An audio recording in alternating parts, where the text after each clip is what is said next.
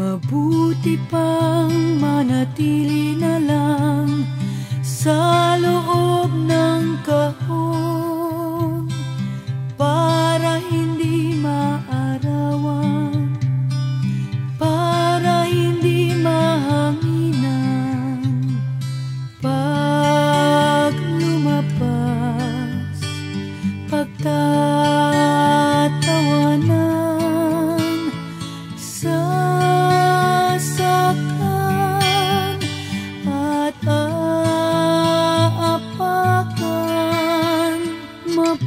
Mabuti pang dito na lang sa sariling kaisipan.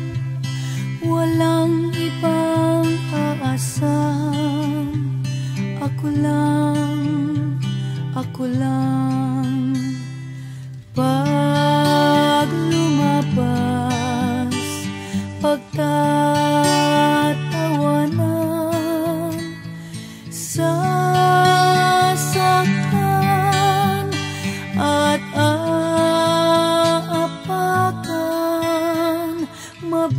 Mabuti pang dito na lang sa sariling kaisipan.